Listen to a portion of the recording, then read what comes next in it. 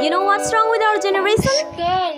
Emotions are overrated, but sending a heart emoji is such a big deal.